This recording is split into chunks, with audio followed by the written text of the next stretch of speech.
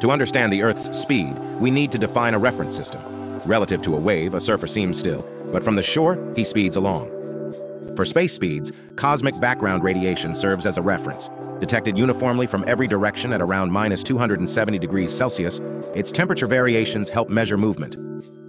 Earth's movement is multifaceted. It spins, orbits the sun, traverses within the Milky Way, and drifts through the universe. Earth's speed increases with scale. At the equator, Earth's rotation speed is 1,670 kilometers per h. In orbit, Earth speeds up to nearly 30 kilometers per s.